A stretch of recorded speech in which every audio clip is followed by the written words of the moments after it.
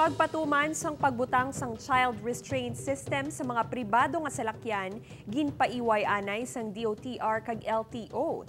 DTI may abiso naman sa mga nagabakal sang child car seats. Ining itutukan ni Daryl Marie Sarmiento.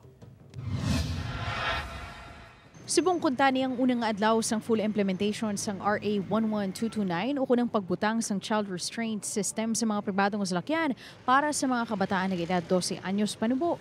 Apang sa gin pagwa nga statement sang Department of Transportation kag Land Transportation Office gin kasugtan nga ipaiway anay ang pag-implementar sang layi bangod man sa mga sirkumstansya dala sang pandemya. It's a welcome development nga na-recognize man sa DOTR ang mga shortcomings sang sang uh, Land Transportation Office with regards to this no.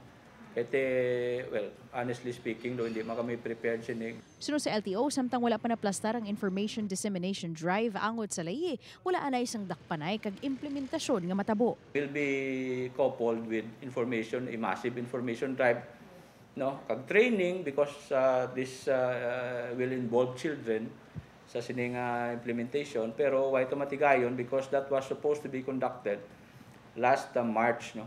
Kag na delay. oh yes last year.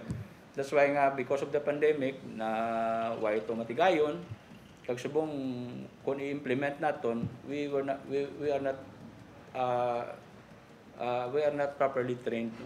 kag uh, why kita sang why kita ka conduct sang uh, uh, full implementation uh, full uh, information drive about this Samtang matapos ginanunsyo ang kunta ni implementasyon sang layi, hinali nga nagsaka ang demand sa child car seats. Gani, abiso sang DTI sa mga manugbakal nga tsekyaron sang maayo ang ginabakal nga CRS. Kung magbakal ka mo sang sini nga produkto, is the PS uh, PS mark man gihapon.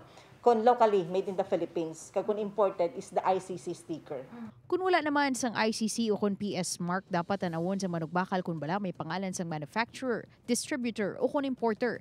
Check yaron man ang brand sang produkto, registered trademark kag general make. Dugang pa ni Digala, Hulyo 2020 sang release ang issuance sang mandatory certification sa child car seat sa diin gina-require ang retailers nga magsunod sa pagbutang sang PS mark kag ICC sticker. Subong nga simana, magapatigayon sang inspeksyon ang DTI sa mga ginabaligya nga CRS sa Iloilo.